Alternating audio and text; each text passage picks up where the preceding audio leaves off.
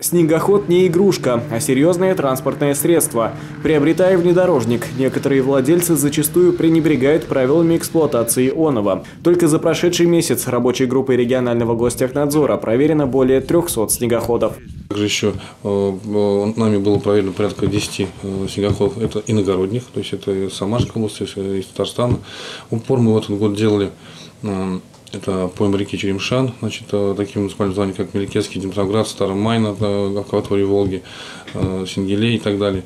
Вот. Ну и, значит, нарушений также было, два нарушения, допустим, в Майнском районе было выявлено. То есть такие муниципальные названия тоже у нас попадались. Нарушают по-разному. Некоторые садятся за руль, не имея документов на управление транспортным средством. У других права есть, правда просроченные. А кто-то и вовсе пренебрег регистрацией снегохода. Так, Эдуард Гумерович, а у вас снегоход не зарегистрирован, да?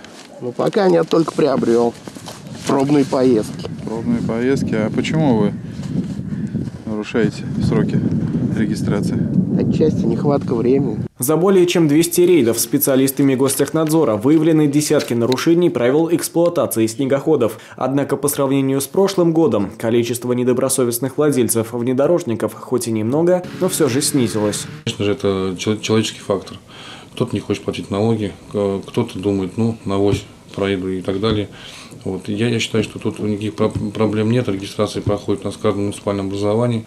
Тем более сейчас э, до второй ступени эту данную госуслугу мы можем оказать через МФЦ. То есть тут никаких вопросов нет. Мы всегда готовы делать то, что от нас зависит. Следующие рейды Гостехнадзор проведет уже летом. Только теперь объектом пристального внимания рабочей группы станут тракторы. Ведь количество нарушений, связанных с этим видом транспорта, ничуть не уступает зимним внедорожникам.